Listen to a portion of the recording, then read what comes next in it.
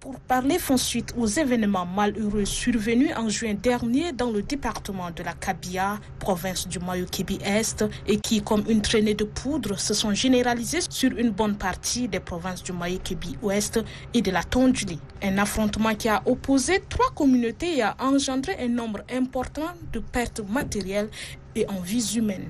Ne pouvant rester indifférent, le président de l'association Kodoma International, qui n'est d'ailleurs pas à sa première tentative de résolution de conflit, a réuni les leaders de ces trois communautés pour une conciliation. Nous avons grandi ici en paix avec toutes les communautés. Je vous demanderai qu'on fasse vraiment la paix, que le pays Banana soit continuellement un havre de paix. Le préfet du département de la Kabia, Biram Goto Germain, a déploré les récurrents conflits dans son essor territorial et a appelé les différentes communautés à la culture de la paix.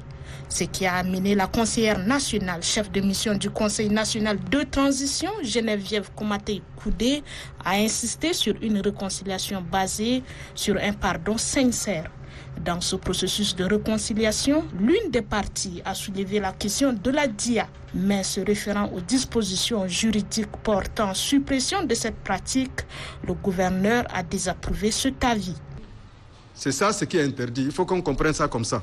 Cette question de la DIA n'a pas cours dans le. Pour l'une des communautés, il reste encore quelques paramètres à éclaircir, mais déjà l'esprit converge vers un pardon sincère. Les leaders de chaque parti louent les efforts consentis par Dr Alaridi Kone pour arriver à cette réconciliation.